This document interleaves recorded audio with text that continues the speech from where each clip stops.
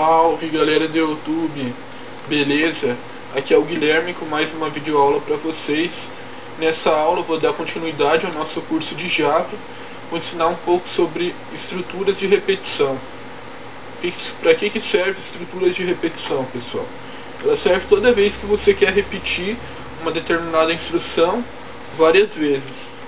Para não precisar ficar chamando várias vezes dentro do código você usa uma estrutura de repetição, um loop. Vou ensinar aqui primeiro o while. Vou iniciar uma variável aqui do tipo inteiro. Vou inicializar ela com zero. Vou criar aqui um while. Vou dizer aqui, vou passar uma, instru uma instrução booleana. Ou seja, vou colocar aqui enquanto x for menor ou igual a 10, imprimir na tela o valor de x. É claro, se eu colocar assim, ele vai entrar em um loop infinito, porque eu não incrementei uma unidade a x. Eu vou executar para vocês verem. Aí ó, ele entra em loop infinito, ele vai ficar repetindo, porque esse x aqui, ele vale zero. E zero é menor que 10. Então a condição é verdadeira. E ele vai ficar nisso a vida inteira. Agora, por exemplo, para ele satisfazer essa condição, eu preciso incrementar uma unidade. Aí eu coloco aqui x igual a x mais 1. Essa é uma maneira de incrementar. Aí o que, que vai acontecer? Vou fechar aqui.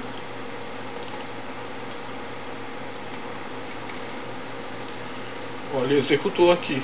Na primeira execução, é, repetição, esse x valia 0. 0 com mais 1, 1. Passou a valer 1. Na segunda repetição, é, ele valia 1. 1 com mais 1 vale 2. Na terceira, ele valia 2. Somou com 1, valeu 3. E assim sucessivamente.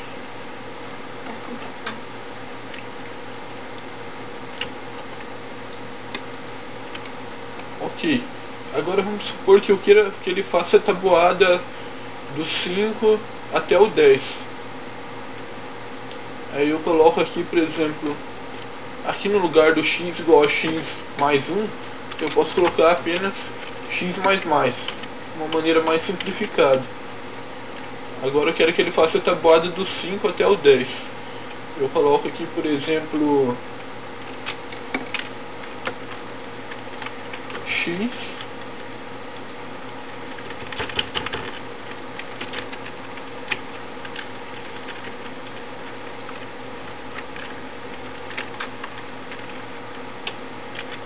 cinco.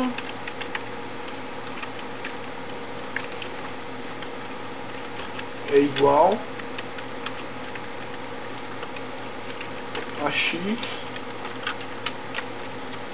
vezes cinco Vamos executar. E ele fez a tabuada aqui, do 5 até, até o 11.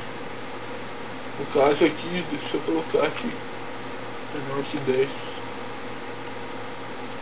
Aí, ó, 5 vezes, vezes 1 vezes 5, 5. 2 vezes 5, 10. Uma maneira mais simplificada, pessoal, de você fazer as coisas. Então é isso, obrigado pela atenção. Na próxima aula eu volto com mais conteúdo. Falou galera, até mais.